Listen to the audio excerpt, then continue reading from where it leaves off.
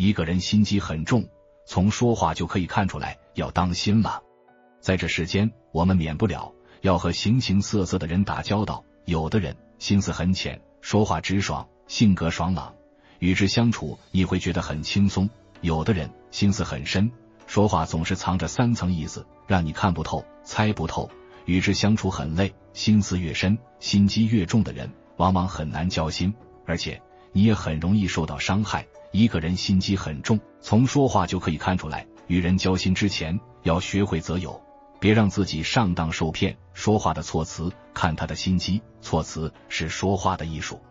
心机深的人，他的措辞精准而独特，既能达到沟通的目的，又能隐藏真实的意图。电视剧《伪装者》中的明楼，他能够根据场合和说话的对象，巧妙的选择适合的措辞，不但能掩饰自己的真实身份，也能实现自己的目的。曾有位名人说过：“语言是思想的衣服。”心机深的人，他与人说话时所用的言辞，就像精心制作的礼服，既展现了他的智慧，也隐藏了他的策略，时常让人觉得他深不可测，不知他到底有着怎样的想法，将做出怎样的决策。相反，心思越是简单的人，说话往往更为明朗、直接，有什么就说什么，从不藏着掖着，让人能一眼看到他的心底。说话的语气。看一个人的心机，每个人说话都有自己的语气，语气是说话的韵律，是表达情感的调色板。一个人怎么说话，就会暴露出他有着怎样的心情，有着怎样的态度。心机深的人，说话的语气变化多端，如同演奏一首复杂的交响乐，他可以在瞬间从平静切换到激动，从冷淡转换到热情，就像电视剧《军事联盟》中的司马懿，他可以根据不同的场合。改变自己的语气，以达到自己的目的。语气可以操控一个人的人心，越是有心机的人，越是善于用语气去操控他人。有时看似着急，其实是伪装出来的；有时看似平静，其实内心却早有了各种盘算。心机深的人善于保持沉默。有时一个人说的越多，就暴露的越多。没有心机的人，别人问什么他就答什么，别人说什么他也跟着说什么。别人还未说出想法，他就先表达了自己的决策。沉默是最强大的言辞，也是最深沉的心机。心机深的人，他懂得在适当的时候保持沉默，用沉默来传递自己的意图。电视剧《琅琊榜》中的梅长苏，他在关键的时刻选择沉默，以此来控制局势。他懂得静观其变，在沉默中观察每个人的反应。沉默既是一种智慧，也是一种策略。心机深的人，从不会轻易表达自己的内心，而是会让自己安静下来，在沉默中观察周围，伺机而动，既不得罪他人，也不暴露自己，默默掌控全局。说话没有立场，看不透他的心思。心机很重的人，不会轻易表明自己的立场，他总是在此刻一种态度，到了另一种场合，又是另外一种态度，会随时调转风向，为了达到他心里的目的。获得自己想要的利益，他会随时改变自己的立场，背弃信任他的人，习惯在人群中周旋，用模棱两可的话语迷惑身边的人。有心机的人不会真正信任任何人，不会真心结交朋友。同时，只要别人给出的条件足够好，他也会毫不犹豫的选择倒戈。他不会让别人看透他的心思，就算是最亲近的人，他也不会轻易告知自己真实的目的。心机重的人说话没有立场。也没有真正的信仰，心底藏着最深的打算，任凭谁也不知道他的心底到底打着怎样的算盘。喜欢帮别人铺路，却都是为自己利益。生活中有一种人，看似对别人很好，其实所有的付出都是藏着盘算的。心机重的人所做的一切，其实都是为了自己的目的。看似与人为善，喜欢帮助别人，为别人铺路，其实只不过是为了收获他人的感恩戴德。总是走一步想十步，想要用最小的付出获得最大的回报。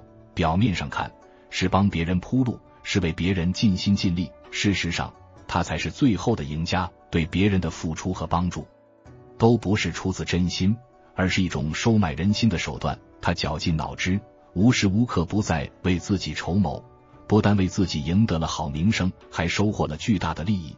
一旦别人没有了利用价值，或者无法从对方身上获取自己想要的，他会马上将对方弃置。心机重的人从不会让自己的付出白费，对别人的铺路其实都是为自己的利益而谋划，早已经失了赤诚之心。凡事喜欢试探，试探是一种窥探别人心理的过程。一个人有心机，说话时总是试探别人，试探别人有什么想法与创意，在内心深处默默吸取别人的优点。凡是喜欢试探别人想法的人，往往爱比较、爱算计，见不得别人比他好。如果一个人总是用各种方式去试探对方的真实想法，不愿意直话直说，那么他做人并不真诚坦率。与这样的人交往，会觉得时刻保持警惕，会很累。人与人之间交往，应该建立在坦诚的基础上。真正没有心机的人，在与人交往时，说话很直白。倪匡说：“带着计算器不断算计的人，不论男女，都不会有真爱。城府深的人与人交往，总是内心深处不断算计自身利益的得失，而且还会自然而然的站在自己的立场上去考量他人。心机重的人。”喜欢窥探别人的想法，以此想看出对方的心思，了解对方的本质。喜欢掌控感，但是心机太重的人会给别人带来压迫感以及不舒适感，让人选择远离。说话带着算计，人与人之间交往，并不是爱笑的人就值得交往。有一种爱笑的人，表面爱笑，心藏算计，简称笑面虎。笑面虎总是一副笑嘻嘻的样子，仿佛和谁都是要好的朋友。心中自有城府，时时算计得失利弊，习惯性的算计，却很少付出真心。与人相处所表达的善意，其实是诱饵，俘获别人的真心时，常常又会算计他能给自己带来多少利益。所以，心机重的人与人相处时，从不会轻易做决定，而是在看清有利可图时，才会做出决定，才会将自己的内心所想真正表达出来。心机重的人。总是会借着别人的善心打听别人内心深处的话，然后不断的修正自己要走的路。看似与很多人保持着非常好的关系，其目的就是在他需要的时候，让其他的人都成为垫脚石。心机深沉的人，心中总是会有谋算，他们不会走一步看一步，而是走一步谋算十步，习惯于步步为营，小心谨慎的与人相处。太过于喜欢谋算的人。往往容易算计到身边的亲人和朋友，情谊在他眼里变得微不足道。说话时身段很软，有心机的人说话时会放低自己的身段。俄国文学家列夫·托尔斯泰曾被一个贵妇人当做搬运工搬箱子，他丝毫没有怪罪妇人，反而很愉快的完成了这份工作，获得了一卢布的报酬。当贵妇人得知他是托尔斯泰时，很是羞愧，连忙对他道歉。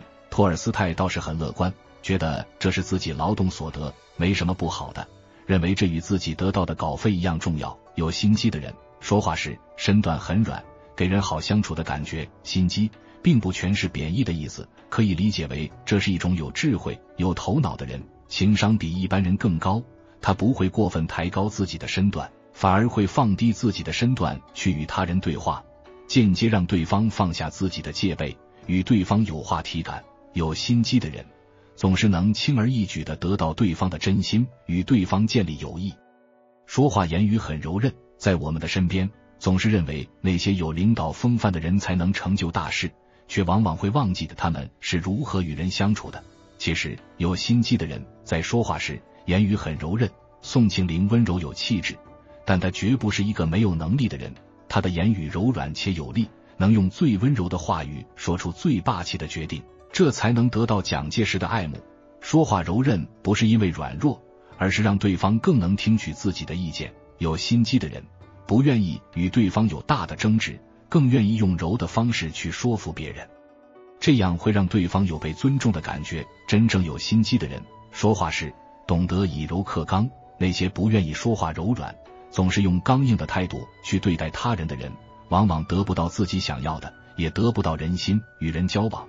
没人愿意看你的脸色的形式，说话时言语柔韧会给人舒服的感觉，更愿意与这样的人交朋友。人生路上，学会择友，学会用一双慧眼去识别人心。人际交往中，很难在很短的时间内真正的了解一个人，所以不必太早的付出感情。更不必付出的太多。与人相处时，保持一颗平常心，慢慢的与他人接触。一个人的人品怎样，从他说的话就能听出来。人品好的人，说话时坦诚，带着真诚，带着诚意；心机重的人，说话时总是带着揣摩，带着试探，带着浮夸的承诺。一个人有着怎样的人品，有着怎样的内心，时间会证明一切。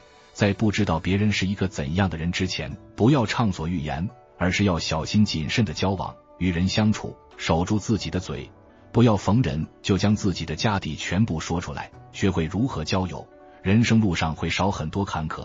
如若把人品不好的人当成知己好友，受伤害是在所难免。